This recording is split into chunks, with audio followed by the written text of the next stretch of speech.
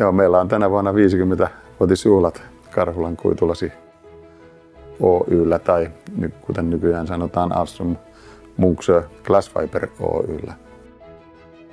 60-luvun lopussa Risto Tiitola, joka oli lasiteollisuuden johtaja Alströmissä. Silloin hänen majapaikka oli täällä Karhulassa. Kävi Englannissa työmatkalla, tuli sieltä, sieltä tuota, sellaisen lasihuopa-arkin kanssa takaisin ja sanoi täällä insinööreille, että, että Alström tekee lasia, Alström tekee paperikoneita ja Alström tekee paperia, miksei Alström tee lasipaperia.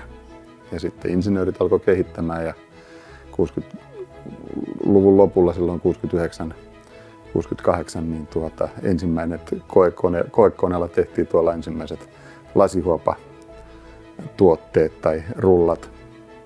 Ja, ja sitten 69 perustettiin Karhulan kuitulasi Oy, joka oli silloin Alströmin ja Skandinaaviska Glassfibren APn yhteisyritys.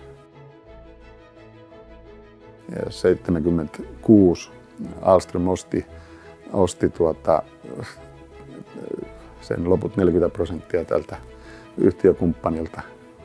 Hinta oli yksi markka, maksettiin käteisellä. Ja, ja tuota, silloin Alström sitten, Alströmin johto antoi niin ukaasin tänne kuitulla sille, että kolme vuotta aikaa saada, saada tulos kuntoon. Ja sitten vuonna 1979 tuli ensimmäinen voitollinen tulos.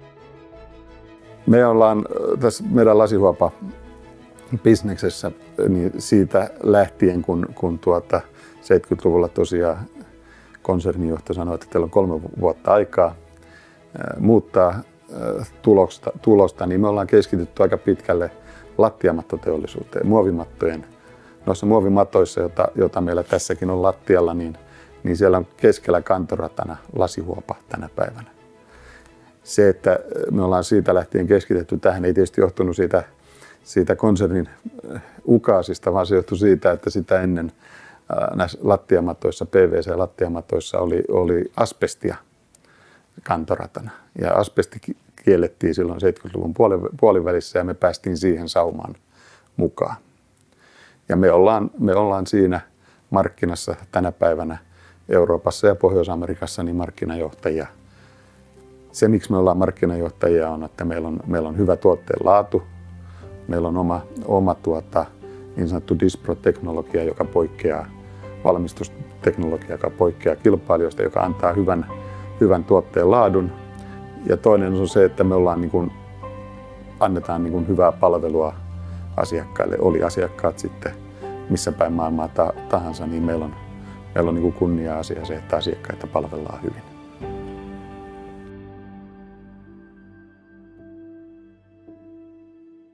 Joo, Alström on tosiaan näytellyt tärkeä osa mun elämässä varsin pitkään. Se alkoi vuonna siis 76, kun mä olin ensimmäisen kerran supparina Kuitulasilla.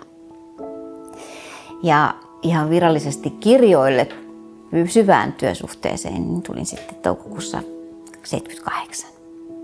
Okei, opiskelujen jälkeen mä sen vakituisen työpaikan sain. Se oli Krister Piil, kun soitti mulle. Mä olin silloin patenttiosastolla Sven Westerholmin apuna, patenttikääntäjänä.